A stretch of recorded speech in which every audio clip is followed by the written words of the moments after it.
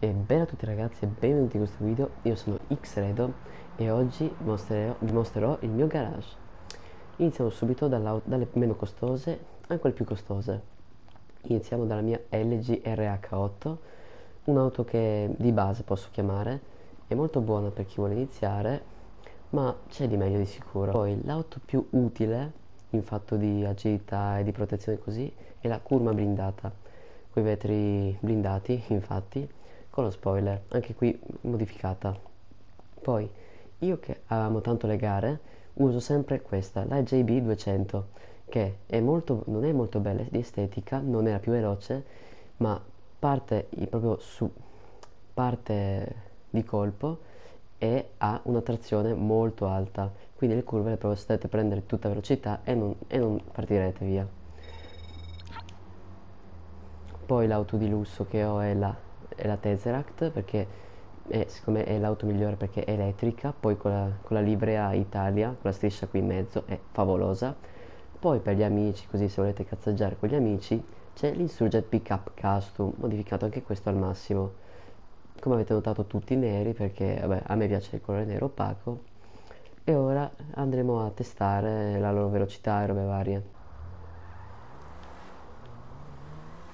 Come velocità non è un granché, come abbiamo detto prima, però se uno ha le prime armi ed è abbastanza bravo a guidarla, si può, cioè, è abbastanza utile. Ovviamente c'è molto di meglio, come vedete le curve non le prende molto bene, poi il pedone che taglia la strada è un dettaglio.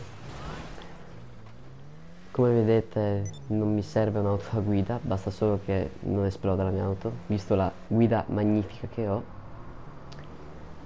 E così, in accelerazione il rettilino non è per niente male. E vediamo le prossime. Ora il turno della Kuruma. È abbastanza buona, parte quasi immediatamente.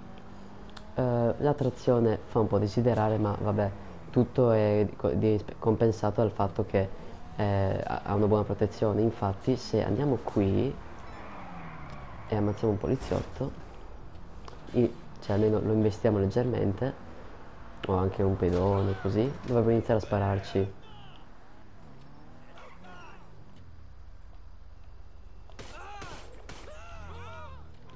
Ecco qui.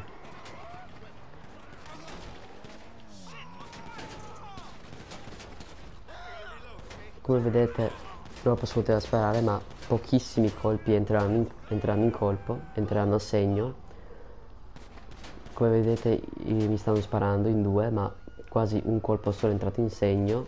Di conseguenza è per questo che è molto utile. Se dovete fare delle missioni dei colpi o così vi consiglio di comprarla.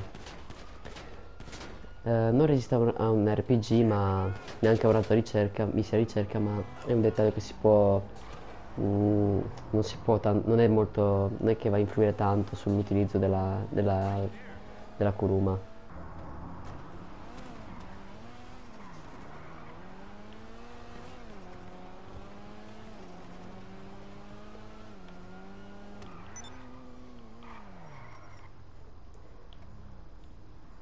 e adesso passiamo alla JB200 come vedete la partenza è quasi immediata.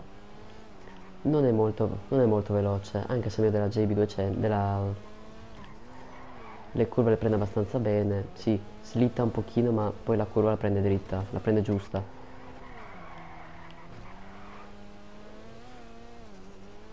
E come se siete se siete bravi a frenare e accelerare subito nella guida vi, vi servirà molto perché la velocità è buona ed è anche una buona trazione.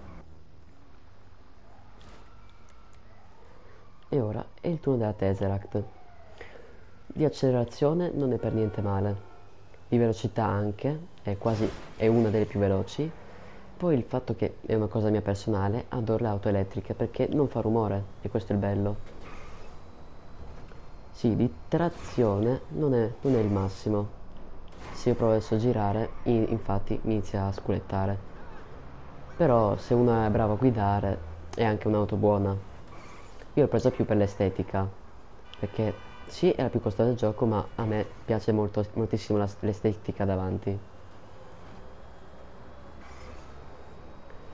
Poi se non avete abbastanza soldi per comprare perché 2 milioni e 6 sono tanti io infatti ho aspettato gli sconti per poterla avere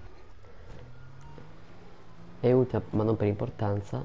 C'è l'insurgent pickup che onestamente è una bestia.